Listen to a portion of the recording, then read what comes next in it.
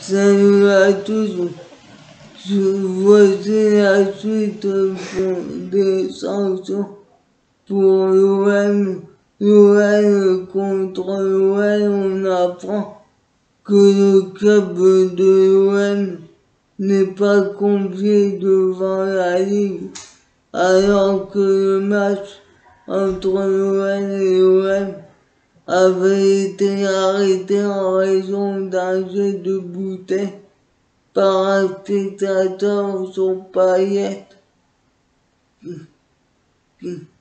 Ils n'ont pas été confiés à la commission, une décision qui a provoqué la surprise de l'OM qui pensait pouvoir être posé ces arguments, notamment pour éventuellement opposer une version contradictoire à la défense des dirigeants lyonnais qui seront eux bien évidemment présents.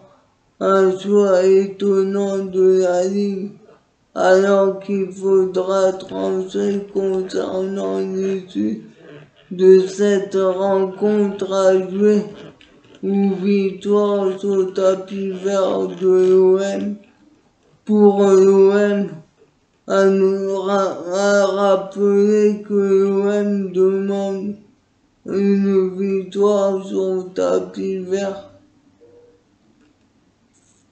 On apprend aussi que la commission de discipline qui rendra son verdict pour ce match arrêté à la, à la quatrième minute. La délégation de l'OM et même Payette et Mandanda ne fera pas ne feront pas le déplacement car ils n'ont pas reçu de convocation.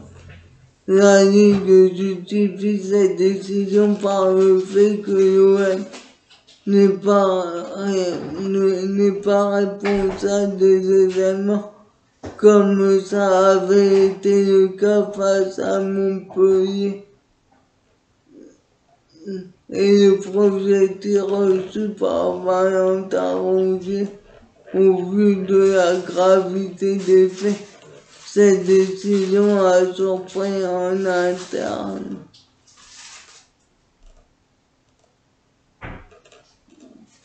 De nouveaux éléments ont émergé récemment, notamment dans le rapport de l'arbitre du buquet et du match qui accuse Jean-Michel de l'avoir menacé. Si l'OM estime que l'OM a fait fuiter ce rapport, les, les, les Lyonnais pensent également à Noël Grette quant à la récente sortie du président de l'OM.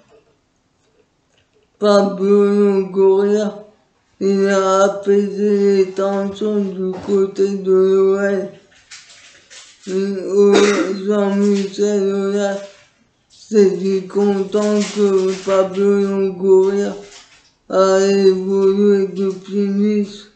Nous nous retrouvons sur des solutions. Avec des sanctions individuelles plus que collectives un barème clair la réaction de récidive, la notion de récidive avec des ministères, les clubs sortiront par le haut, étudions toutes les propositions, gardons les meilleures, alors que Jérôme Montaigne allumé Jean-Michel Aulas qui multiplie les sorties pour défendre les intérêts de son club avec des propositions étonnantes comme le fait de pouvoir faire un sixième remplacement sur Payet.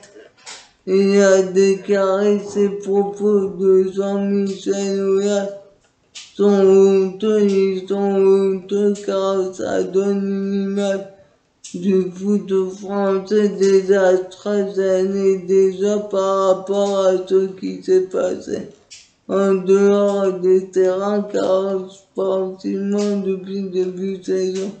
C'est quand même rafraîchissant, Jean Je suis encore plus déçu de lui car ce n'est pas quelqu'un qui est dans le foot.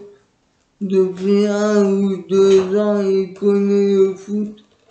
C'est lui tout ce qui a monté ce club ce qu'on a besoin d'avoir des gens compétents avec la tête sur les épaules et qui prennent du recul, il faut prendre de la hauteur. Jean-Michel Aulas n'est pas encore assez bon. N'en prend pas assez, il défend sa boutique. Qu'en pensez-vous Moi, pour moi, je suis d'accord avec Rotin.